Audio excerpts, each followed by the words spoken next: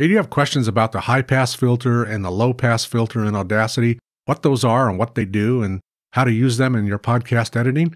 That's what we're going to talk about in this video.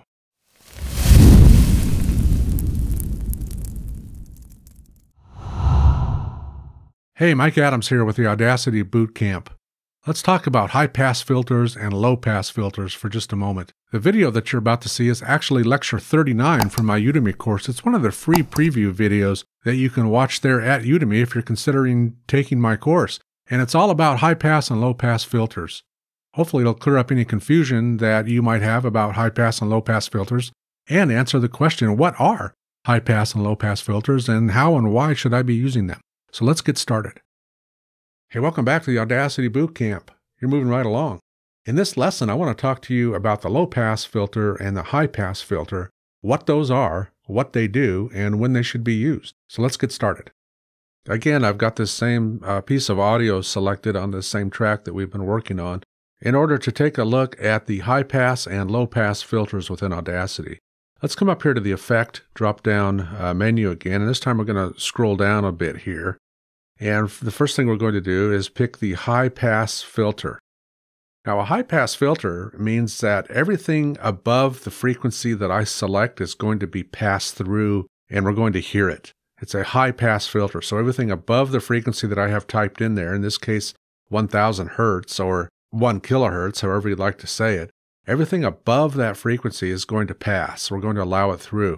Everything below that frequency, we're not going to eliminate, but we're going to attenuate it, in this case, by a value of 6 dB. So let's give this a listen and see what this sounds like. Red is really my second favorite color. Boy, the color blue is fantastic. You know, so I've got this false start. That's pretty tinny sounding. There's not any real bass in there at all. There is some, but again, it's been reduced by a level of 6 dB, and we're attenuating those uh, frequencies by a value of 6 dB. Now, if I leave the value at 1000 hertz and I change the decibel value, let's get extreme here and let's let's say 36 dB. And that's something you probably never do in real life, but just to illustrate a point here so that you can hear the difference, I want to select 36 dB and I'm going to hit preview again. Red is really my second favorite color. Boy, the color blue is fantastic. You know, so I've got this false start. So in this high pass filter, it's saying everything above 1000 hertz is allowed to pass. Come on through. You're welcome in. Everything below 1000 hertz, I'm going to attenuate you down to about a 36 uh, dB. Now let's change this value from 1000 to 2000 and let's say eh, you know everything above 2000 hertz now is allowed to pass. And let's change our decibel back to uh, 6 dB and let's hit preview here and listen to it. Red is really my second favorite color. Boy, the color blue is fantastic. You know, so I've got this false start.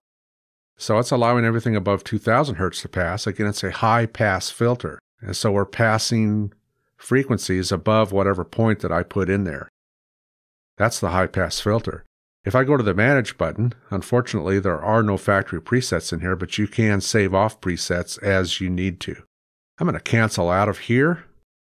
And let's go back up to the Effect menu. And let's scroll back down again. And this time let's look at the low pass filter. And you guessed it, the low pass filter is opposite of the high pass filter. Now we're going to pass frequencies below 1000 hertz, and everything that is higher than 1000 hertz, we're going to attenuate in this instance by 6 dB. So this is going to sound different. So let's hit the preview button. Red is really my second favorite color. Boy, the color blue is fantastic. You know, so I've got this false star. So here we are emphasizing the low end or the bottom end of the sound. We're bringing up the bass tones, or we're not actually bringing them up, but we're allowing them to pass. That's the low pass filter. We're passing lower frequencies. Now, if we change this to, oh, let's say maybe 600 hertz, let's try that. Remember, we're, we're passing low frequencies, so we want to stay in that low range. And let's leave this at a 6 dB, and let's see what this sounds like. Red is really my second favorite color. Boy, the color blue is fantastic. You know, so I've got this false star. So you can hear a little bit of a difference there. In this case, we're passing everything 600 hertz and below. Whatever is higher than 600 hertz, we're, we're again attenuating those frequencies by a 6 dB amount. Let's change that 6 dB to a 36 dB like we did last time and give that a listen. Red is really my second favorite color. Boy, the color blue is fantastic. You know, and so I've got this false star. Sounds a little muffled. I don't think we want to use that in our podcast. But you get the idea. The high pass filter passes frequencies above whatever I set. The low pass filter passes those frequencies below whatever I've set. And I can tell it where to attenuate it in terms of decibel in order to get the sound out of the file or the sound out of my waveform that I want to get. That's the high pass filter and the low pass filter. I hope you found that beneficial, that little conversation there on high pass and low pass filters. Maybe it took some of the mystery out of that for you. Hey, if you like what's going on here, you can reach me anytime at audacitybootcamp.com. I'll have the link to that site down below. It's also up in the header. In addition to that, I'll have a link to my full Udemy course, all 53 lectures. If you want to check it out, preview some of those videos, and decide whether or not that's something that you want to do. I'll have the links for both in the description and in the header. Until next time, see ya.